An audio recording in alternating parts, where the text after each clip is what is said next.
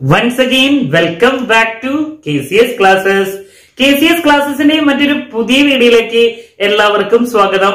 This is Kiran C S assistant professor in commerce Kerala P S C daily module wise അനാലിസിസിൽ module number one research methodology and quantitative techniques ആണ് നമ്മുടെ discussion continue ചെയ്തുകൊണ്ടിരിക്കുന്നത്. Last വീഡിയോയിൽ discuss ചെയ്തത് measurement and scaling ഈ രണ്ട് കൺസെപ്റ്റുകളുടെ details ആണ്. So continuation ആയിട്ട് നമ്മുടെ സിലബസിൽ നെക്സ്റ്റ് ഇൻക്ലൂഡ് ചെയ്തിട്ടുള്ളത് റിസർച്ച് ഡിസൈനെ പറ്റിയിട്ടുള്ള കാര്യങ്ങളാണ്. എന്താണ് റിസർച്ച് ഡിസൈൻ ദെൻ അതിന്റെ features then types of research design ഇത്രയൊക്കെയാണ് നമുക്ക് നെക്സ്റ്റ് ഡിസ്കസ് ചെയ്യാനുള്ളത്. സോ നമുക്ക് അതിന്റെ കൺസെപ്റ്റിലോട്ട് പോവാം. സോ എന്താണ് റിസർച്ച് ഡിസൈൻ നമുക്ക് ആദ്യം അറിയേണ്ടതാണ്. നമുക്കറിയാം ഒരു റിസർച്ചർ റിസർച്ച് കണ്ടക്ട് ചെയ്യുന്ന സമയത്ത് നമുക്കറിയാം ഒരു ടാർഗറ്റഡ് ഓഡിയൻസിന്റെ ഏതെങ്കിലും ഒരു പ്രോബ്ലം ആവാം നമ്മൾ പഠിക്കേണ്ടാവുക സോ ആ ഗ്രൂപ്പിനെ നമ്മൾ മനസ്സിലാക്കുന്നു അവരുടെ പ്രോബ്ലം നമ്മൾ മനസ്സിലാക്കി അങ്ങനെ നമ്മൾ പ്രോബ്ലം സ്റ്റേറ്റ് ചെയ്തു.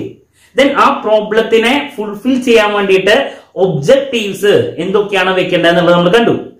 ദെൻ ഇനി നമുക്ക് അവിടെ ഏറ്റവും റെലവെന്റ് ആയിട്ടുള്ള കുറച്ച് കാര്യങ്ങൾ നമുക്ക് ചെയ്യണം. എന്തൊക്കെയാണ്? ആ സോഴ്സസ് ഓഫ് ഡാറ്റ ഏതൊക്കെ ഡാറ്റ നമുക്ക് വേണം? From where we want to collect the data അല്ലെ?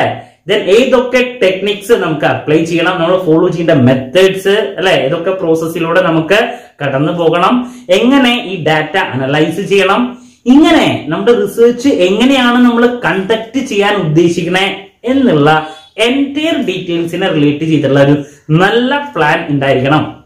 എന്നാൽ മാത്രമേ ഒരു റിസർച്ചർക്ക് റിസർച്ച് പ്രോപ്പർ ആയിട്ട് ഫിനിഷ് ചെയ്യാൻ സാധിക്കുള്ളൂ. അപ്പൊ എന്താണ്? റിസർച്ച് ചെയ്യുന്ന സമയത്ത് ഒരു റിസർച്ചർക്ക് റിസർച്ചിലെ ആ വ്യക്തി ആ ഒബ്ജക്റ്റീവ്സ് ആവട്ടെ അല്ലെങ്കിൽ നേരത്തെ വെച്ചിട്ടുള്ള പ്രോബ്ലം ആവട്ടെ അതിന്റെ ഒരു ഫുൾഫിൽമെന്റിന് വേണ്ടിയിട്ട് ഒബ്ജക്റ്റീവ്സിന്റെ ഫുൾഫിൽമെന്റിന് വേണ്ടിയിട്ട് എന്തൊക്കെ കാര്യങ്ങൾ ചെയ്യണം? റിസർച്ചിന്റെ എന്റയർ ഡീറ്റെയിൽസ് അല്ലെ? റിസർച്ചിന്റെ ഒബ്ജക്റ്റീവ്സ് ഫുൾഫിൽ ചെയ്യാൻ വേണ്ടിയിട്ട് എന്തൊക്കെ കാര്യങ്ങൾ ചെയ്യണം? ഫോളോ ചെയ്യേണ്ട മെത്തേഡ്സ് ഏതൊക്കെ തരത്തിലുള്ള ഡാറ്റ വേണം? ഏത് ടൈപ്പ് ഓഫ് റിസർച്ച് ആണ്? എങ്ങനെയാണ് അനലൈസ് ചെയ്യേണ്ടത്? ഇങ്ങനെയുള്ള എല്ലാ കാര്യങ്ങളെ പറ്റിയുള്ള ഒരു വ്യക്തമായിട്ടുള്ള ധാരണ വേണം. അതിനെ പറ്റിയിട്ട് കണ്ടക്ട് ചെയ്യുന്ന പ്ലാൻ പ്രിപ്പയർ ചെയ്യുന്ന ആ ഒരു മാസ്റ്റർ പ്ലാനിനെയാണ് നമ്മൾ റിസർച്ച് ഡിസൈൻ എന്ന് പറഞ്ഞാൽ ഉദ്ദേശിക്കുന്നത്. സോ ഒരു റിസർച്ചർ നല്ല രീതിയിൽ ഒരു പ്ലാൻ പ്രിപ്പയർ ചെയ്താൽ മാത്രമേ നമ്മുടെ ഇൻ ടൈമിൽ റിസർച്ച് അവസാനിപ്പിക്കാൻ സാധിക്കുള്ളൂ. അതുപോലെ കോസ്റ്റ് ഇഫക്റ്റീവ് ആയിട്ട് നമുക്ക് റിസർച്ച് അവസാനിപ്പിക്കാൻ സാധിക്കുള്ളൂ. സോ അതുകൊണ്ട് ഏറ്റവും എന്താണ് റെലവെന്റ് ആയിട്ടുള്ള ഒരു മാസ്റ്റർ പ്ലാൻ ആണ് ഈ പറയുന്ന റിസർച്ച് ഡിസൈൻ എന്ന് പറഞ്ഞാൽ ഉദ്ദേശിക്കുന്നത്. സോ നമുക്ക് എന്താണ് റിസർച്ച് ഡിസൈൻ എന്ന് നോക്കാം. ദെൻ ആഫ്റ്റർ ദാറ്റ് അതിന്റെ ഫീച്ചേഴ്സ് ദെൻ അതിന്റെ കോമ്പോണൻസ് മെയിൻ ആയിട്ട് ഒരു റിസർച്ചറുടെ മുമ്പിൽ റിസർച്ച് ഡിസൈനേക്കാൾ റിസർച്ച് ഡിസൈൻ ചെയ്യുന്നതിനേക്കാൾ മുമ്പ് കോമൺ ആയിട്ട് വരുന്ന ക്വസ്റ്റ്യൻസ് എന്തൊക്കെയാണ്? ഇത്ര ഡീറ്റെയിൽസ് ആണ് നമ്മൾ ഇന്നത്തെ വീഡിയോയിൽ ഇൻക്ലൂഡ് ചെയ്തിട്ടുള്ളത് ഓക്കെ സോ നമുക്ക് റിസർച്ച് ഡിസൈൻ എന്താന്ന് നോക്കാം. So research design it is a master plan ഞാൻ നേരത്തെ പറഞ്ഞു it is a master plan specifying the methods and procedures for collecting and analyzing the needed information. നമുക്ക് എന്ത് ഇൻഫോർമേഷൻ ആണ് വേണ്ടേ? ഒരു റിസർച്ചർക്ക് എന്ത് ഇൻഫോർമേഷൻ ആണ് വേണ്ടേ? ആ ഇൻഫോർമേഷന് വേണ്ടിയിട്ട് നമ്മൾ ആ എവിടുന്ന് ഡാറ്റ കളക്ട് ചെയ്യണം? ദെൻ ഏത് രീതിയിൽ ഡാറ്റ കളക്ട് ചെയ്യണം? അതിനെ ഫോളോ ചെയ്യേണ്ട പ്രൊസീജിയേഴ്സ് എന്താണ്? ദെൻ നമ്മൾ അതിനെ എങ്ങനെ അനലൈസ് ചെയ്യണം? ഇതിനെ റിലേറ്റ് ചെയ്തിട്ടുള്ള എല്ലാ കാര്യങ്ങളും നമ്മൾ മുൻകൂട്ടി എന്ത് ചെയ്യണം? പ്ലാൻ ചെയ്യണം. സോ അതിനെയാണ് നമ്മൾ എന്ത് പറയാ? റിസർച്ച് ഡിസൈൻ എന്ന് പറഞ്ഞാൽ ഉദ്ദേശിക്കുന്നത്. സോ അഡീഷണൽ ആയിട്ട് ഒരു കാര്യം കൂടി പറയുന്നുണ്ട്.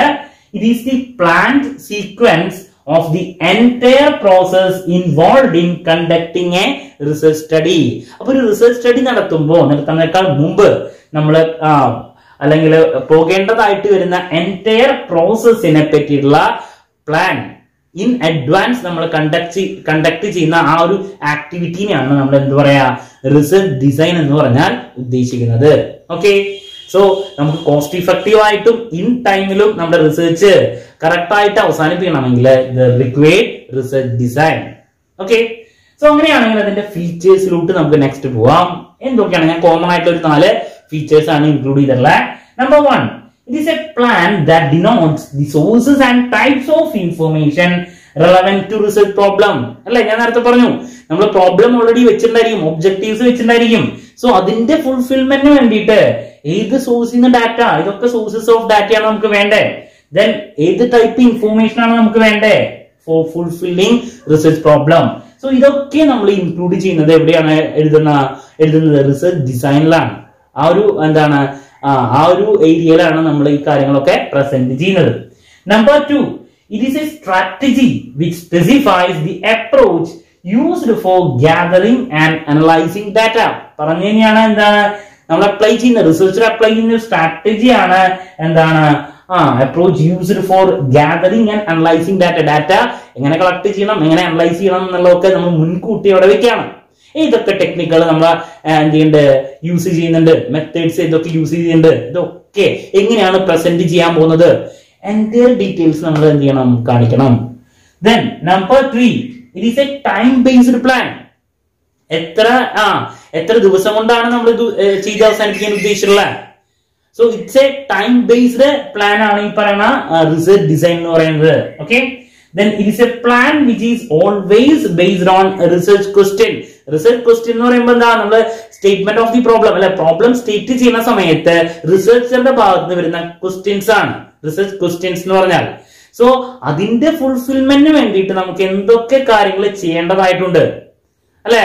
നേരത്തെ പറഞ്ഞ കാര്യങ്ങൾ തന്നെയാണ് വീണ്ടും വരുന്നത്. സോഴ്സ് മെത്തേഡ്സ് ഇതൊക്കെ നമ്മൾ എവിടെ ഇൻക്ലൂഡ് ചെയ്യണം? റിസൾട്ട് ഡിസൈനിൽ അല്ലെങ്കിൽ പ്ലാൻ ചെയ്യുമ്പോൾ നമ്മൾ ഇതൊക്കെ മനസ്സിലാക്കിയിട്ടാണ് അത് പ്രസന്റ് ചെയ്യാം. Okay so if there is a good research design നമ്മുടെ അൺസേർട്ടനിറ്റി റിസർച്ച് ചെയ്യുമ്പോഴുള്ള അൺസേർട്ടനിറ്റി നമുക്ക് കുറയ്ക്കാൻ സാധിക്കും. So these are the main എന്താണ് ഫോർ ഫീച്ചേഴ്സ് ഞാനൊരു നാലെണ്ണം ഇൻക്ലൂഡ് ചെയ്തിട്ടുള്ളൂ.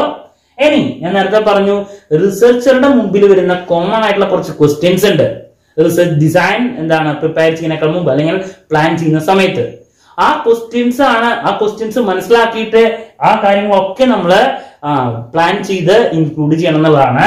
ഞാൻ എന്താണ് ഒരു അഞ്ചു പത്ത് കാര്യങ്ങളാണ് കോമൺ ആയിട്ടുള്ള ഒരു മൂന്ന് കോമൺ ആയിട്ടുള്ള കാര്യങ്ങളാണ് ഇവിടെ ഇൻക്ലൂഡ് ചെയ്തിട്ടുള്ളത് number one what is the study all about research design ചെയ്യുന്നേക്കാൾ മുമ്പ് റിസർച്ചർ ആദ്യം എന്താ അറിയണ്ടേ? എന്താണ് നമ്മുടെ സ്റ്റഡി സ്റ്റഡീനെ പറ്റിയുള്ള എന്റയർ കാര്യങ്ങൾ നമുക്ക് വ്യക്തമായിട്ടുള്ള നോളജ് ഉണ്ടായിരിക്കണം. When will the study be carried out എപ്പോഴാണ് ഇത് നട അല്ലെ നടക്കുന്നത്? അപ്പൊ ഇതൊക്കെ നമ്മൾ എന്ത് ചെയ്യണം? ഇപ്പൊ നിങ്ങളാണെങ്കിലും ഒരു പി ജി പ്രോജക്ട് ചെയ്യുമ്പോഴാണെങ്കിലും ട്വന്റി വൺ ഡേയ്സിന്റെ വർക്കാണ് എന്ന് മുതൽ എന്ന് വരെയാണ്. ഇതൊക്കെ കറക്റ്റ് ആയിട്ട് നമ്മൾ ഇൻക്ലൂഡ് ചെയ്യില്ലേ മെത്തഡോളജി പാർട്ടിൽ then where will the study be conducted എവിടെയാണ് ഇത് കണ്ടക്ട് ചെയ്യുന്നത്? So what when where common ആയിട്ടുള്ള എന്താണ്? കുറച്ച് കാര്യങ്ങളാണ്. ഇത് മാത്രമല്ല നമ്മുടെ റിസർച്ചിനെ റിലേറ്റ് ചെയ്തിട്ടുള്ള എല്ലാ അല്ലെ കാര്യങ്ങളും എന്താണ് മനസ്സിലാക്കിയതിന് ശേഷമാണ് നമ്മളൊരു റിസർച്ച് ഡിസൈൻ ചെയ്യേണ്ടേ. എന്നാൽ മാത്രമേ നമുക്ക് ഇൻ ടൈമിൽ കോസ്റ്റ് ഇഫക്റ്റീവ് ആയിട്ട് നമ്മുടെ റിസർച്ച് അവസാനിപ്പിക്കാൻ സാധിക്കുള്ളൂ. ഓക്കെ സോ ഇന്നത്തെ വീഡിയോയിൽ നമ്മൾ ഈ ഒരു ഡീറ്റെയിൽസ് മാത്രമാണ് ഇൻക്ലൂഡ് ചെയ്തിട്ടുള്ളത് റിസർച്ച് ഡിസൈന്റെ ടൈപ്സ് ആണ് നമുക്ക് നെക്സ്റ്റ് ഡിസ്കസ് ചെയ്യാനുള്ളത്. പല ടൈപ്സ് ഓഫ് റിസർച്ച് ഡിസൈൻസ് ഉണ്ട്. സോ മറ്റൊരു വീഡിയോയിൽ വീണ്ടും കാണാമെന്നുള്ള പ്രതീക്ഷയോടെ നിർത്തുന്നു. This is Kiran cheers signing off have a nice day thank you